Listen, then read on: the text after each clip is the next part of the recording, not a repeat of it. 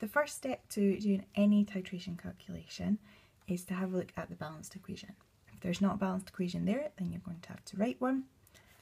I'm going to write this one out for you. So we have hydrochloric acid, HCl, plus sodium hydroxide, NaOH. It's a neutralization reaction, so we're going to get a salt, sodium chloride, and water. And this reaction is already balanced. The next step is to have a look at the mole ratio. So the mole ratio that we have here, we're only concentrating on the reactants. So we're looking at hydrochloric acid and sodium hydroxide. So we have a mole ratio of 1 mole of HCl gives us 1 mole of sodium hydroxide. So we need to keep that in mind for later on. the way that I worked it out was the numbers in front of the chemical formulae. There are no numbers, so we can assume that it's 1. The next thing you need to do is to have a look at your information that you've been given and you need to allocate different colours is how I'm going to do it for the two different species. So for hydrochloric acid, I'm going to underline everything about hydrochloric acid in green. So we're being asked what volume of hydrochloric acid would be required to neutralise and we've got a concentration of hydrochloric acid. On the other hand, we have sodium hydroxide, we've got volume of sodium hydroxide, and we have a concentration of sodium hydroxide. To do these calculations, you're going to be using the moles equals concentration times volume triangle. So I'm going to sketch that out the side just to remind me.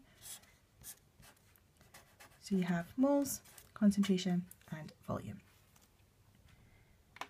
You need to look at your information, if we go back to that, and find which of the two species do we have enough information about to be able to do a calculation. So we have a volume and we have a concentration for sodium hydroxide. That allows us to calculate the number of moles of sodium hydroxide that were used in the titration. So if we do moles of sodium hydroxide equals concentration times volume, concentration was 0.5 and the volume is 20 centimetres cubed. So we need to remember to divide by a thousand to give us 0.02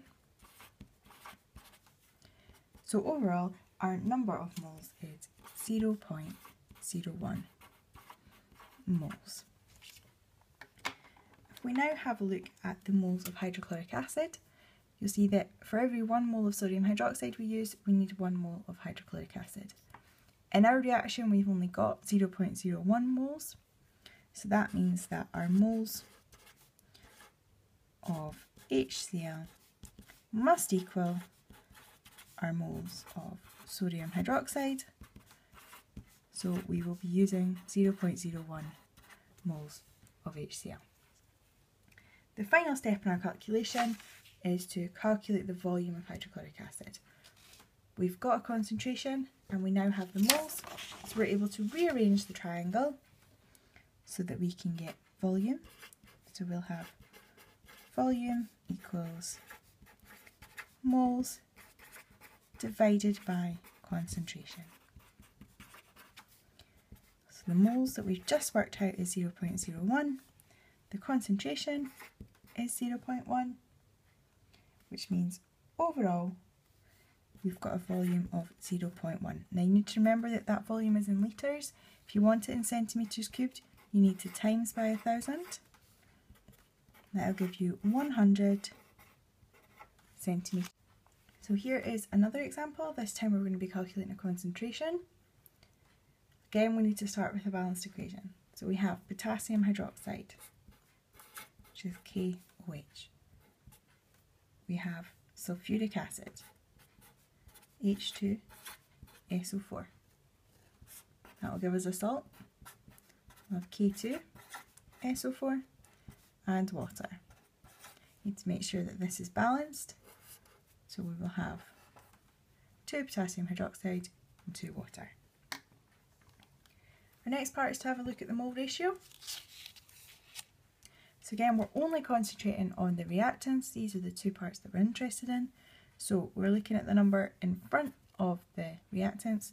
So we have 2 moles of KOH requires 1 mole of H2SO4. Come back to the mole ratio later.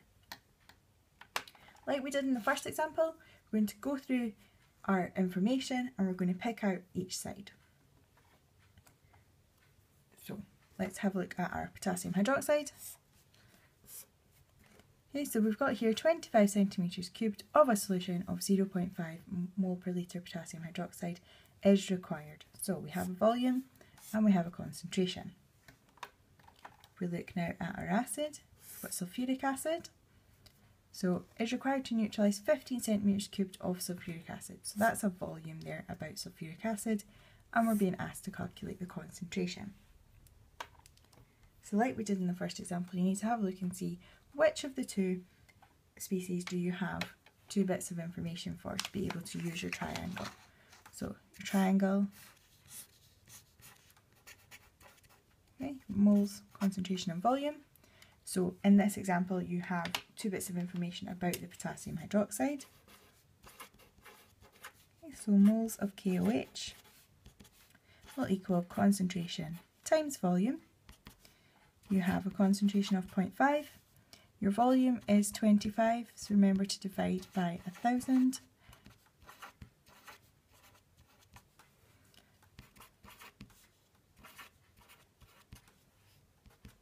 So it's 0 0.025. And when you multiply those two together, you get 0 0.0125 moles. Now we're having a look at the mole ratio. So for every 2 moles of KOH, we need 1 mole of sulfuric acid. So to go from this side to this side, which is what we're doing, we need to divide by 2. So our moles of H2SO4 equals half of our moles of KOH. So our moles of KOH is 0 0.0125. We need to divide that by 2 to get 0 0.0625. We're now going to use the moles and we're going to use the volume that we have from the question to work out the concentration of H2SO4 that was used. So we're looking at concentration equals moles divided by volume. So we have our moles from the step above divided by our volume, which is 15. Make sure it's in litres.